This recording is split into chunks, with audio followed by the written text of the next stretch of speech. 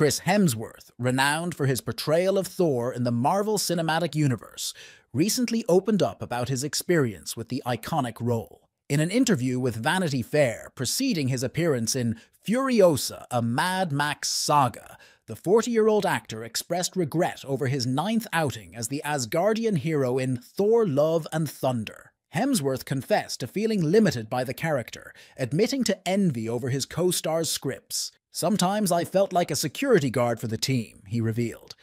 I would read everyone else's lines and go, oh, they got way cooler stuff.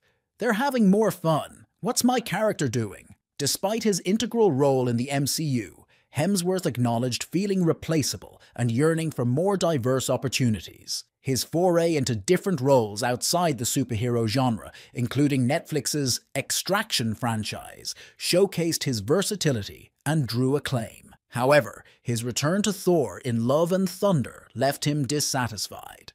Reflecting on the experience, he admitted, I got caught up in the improv and the wackiness, and I became a parody of myself. I didn't stick the landing.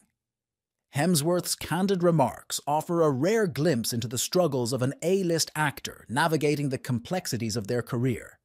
He voiced concerns about being typecast as an action hero and expressed a desire for more substantial roles with acclaimed directors like Scorsese or Tarantino. His introspective commentary deviates from the typical celebrity narrative, showcasing a vulnerability and self-awareness uncommon in Hollywood. As he continues to evolve as an actor, Hemsworth's willingness to confront his limitations and aspirations sets him apart in the industry.